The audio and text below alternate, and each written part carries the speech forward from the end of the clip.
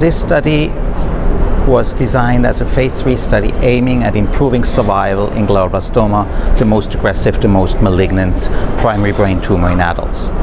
Uh, the study involved about 80 centers worldwide and overall randomizing 695 patients to receiving either standard of care, which was temozolomide radiation followed by temozolomide, or temozolomide radiation followed by temozolomide plus tumor treating fields.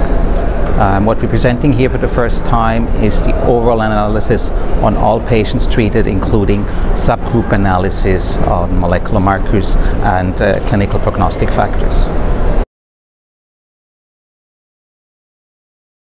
We present the results on intent to treat analysis on overall survival and have been able to demonstrate the hazard ratio of 0.63.